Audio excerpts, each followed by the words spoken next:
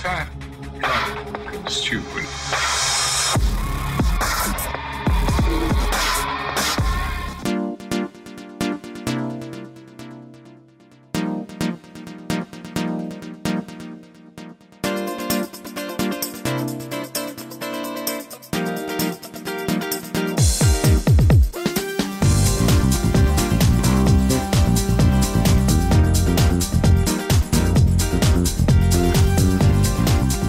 Persiapan kita ni adalah untuk uh, Sukma uh, 20 Johor 2020.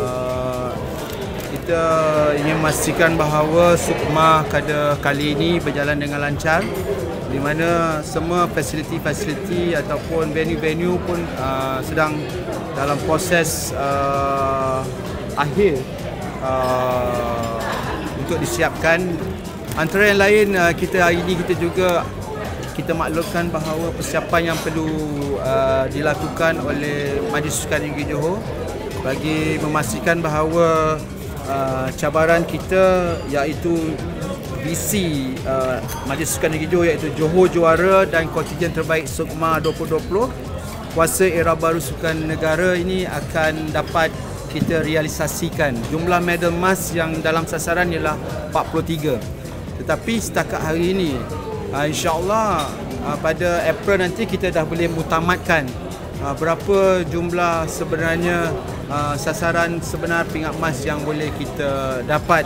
uh, untuk Sukma 2020 ini.